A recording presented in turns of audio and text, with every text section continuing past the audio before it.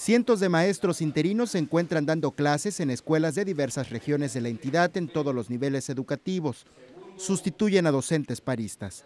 Lo anterior, luego de que la Secretaría de Educación entregó órdenes de presentación a docentes interinos estatales y federalizados.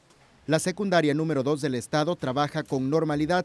Desde ahí, el director Óscar Hernández Pérez hizo un llamado a sus compañeros maestros para regresar a las aulas y no rezagar el ciclo escolar.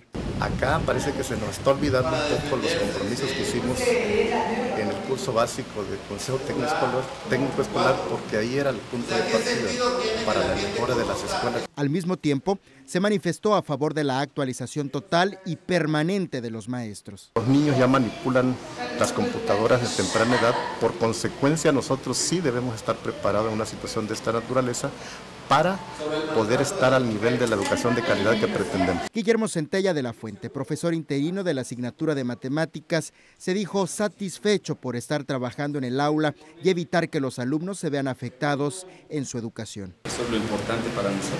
Estamos trabajando todos, entonces que dejen pues ese paro. La educación es lo importante, la educación de los, de los jóvenes, de los niños. En esta escuela se avanza en cuanto al programa educativo. Sin embargo, en muchas otras será difícil recuperar el tiempo perdido. 10 Noticias.